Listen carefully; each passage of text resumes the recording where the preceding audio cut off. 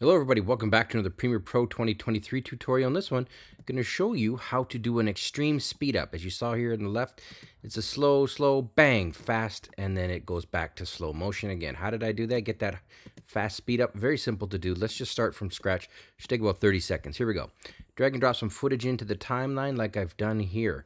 Okay, the next step is I'm going to grab this and pull it down. I want to create a nice and big video track one so you can see what I'm doing. So this is not required, but I like to do it. The next step is you'll see a little FX button here in the top left corner.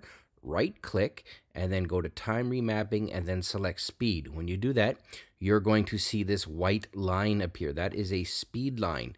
Uh, no, and it doesn't mean not that kind of speed, anybody. Um, now, the next step, move your playhead to the part where you want the speed to increase or decrease. This is where we're going to do the speed ramp. Now, I'm going to hold down the command key on a Mac or the control key on a PC.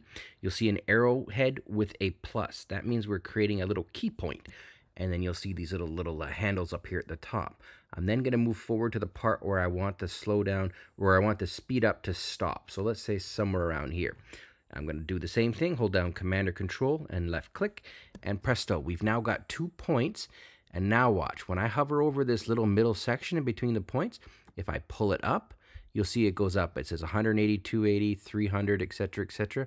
That's the amount that we're speeding this up by. This is a speed ramp. And if I really want to go over the top and make it a 600% speed increase, for example, something like that, okay, let's see what we got here. I'll just hit spacebar, whack. There we go. That's your speed up. If you want to make it a gradual increase as opposed to a rather sudden increase, do keep in mind that you can kind of break these handles here. And now watch, I can move them in and out. So it's you'll see here that you see this little bit of an angled line. This just means that it's going, it's getting faster at a um, a gradual pace. That's all there is to it. Thanks for watching.